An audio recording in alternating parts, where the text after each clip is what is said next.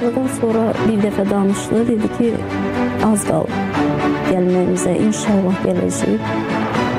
Ondan sonra elə zəngini almadım. Müsalə ananın gözünü yolda qoyan Aqilin cəmi 20 yaşı olub. Amma qəhrəmanımızın vətən uğrunda yaşadıklarını sadalasaq, 20 vərəq nədir? Kitaba da sığmaz. Valideynləri danışırlar ki, Aqil uşaqlıqdan torpağına, yurduna, bayrağına vurğun olub. Bu sevgisi o qədər güclü olub ki, həqiqi hərbi xidmət keçdikdən sonra hərbçi olaraq yolunu davam etdi. Başqa talib, peşə arzulamayıb özünə heç zaman. Hər zaman önə atılır. Elə vətən müharibəsi başlayan kimi ön cəbhəyə yollanır. Döyüşdüyü xüsusi təyinatlı bölmədə də seçilib bizim cəsur oğlan. Agil kəşfiyyatçılar bölməsində qumbara atan olub. Füzuli, Cəbrayıl, Qubadlı, Zəngilan istiqamətində gedən döyüşlərdə xüsusi qəhrəmanlıq göstərib.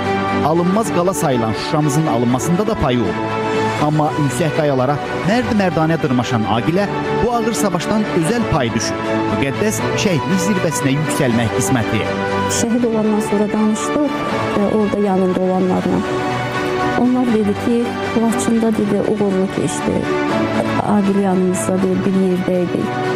İndi dedi özəl səbəblərdən açıqlaya bilmirəm telefonda. İnşallah dedi biz gələn kimi gəlib danışacağıq. Sizdə nə, necə olub, nətər olub.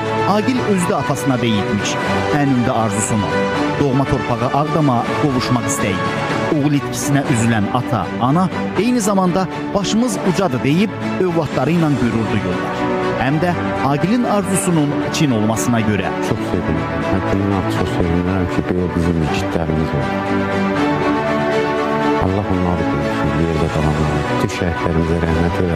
Onların qanları yerdə qalmalı. Artıq bizə nəfəs ala bilərik. Agilin qardaşı da hərbi xidmət edir. İndi Quliyevlər ailəsi mümkün olan ən qısa zamanda Ağdama dönməyi planlaşdırılır. 20 yaşlı şəhid qəhrəmanımızın rahatlanmış ruhunun pərvaz etdiyi yerə.